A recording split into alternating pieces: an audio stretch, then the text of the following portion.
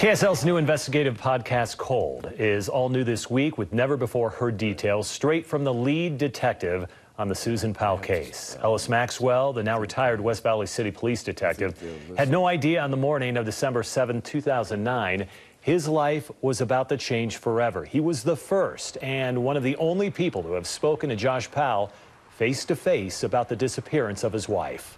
Nothing really jumped out at me then, other than he was obviously a liar.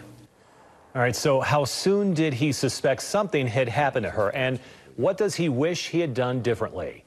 He lays it all out for investigative reporter Dave Cawley on episode four, available right now wherever you download podcasts and at KSLTV.com.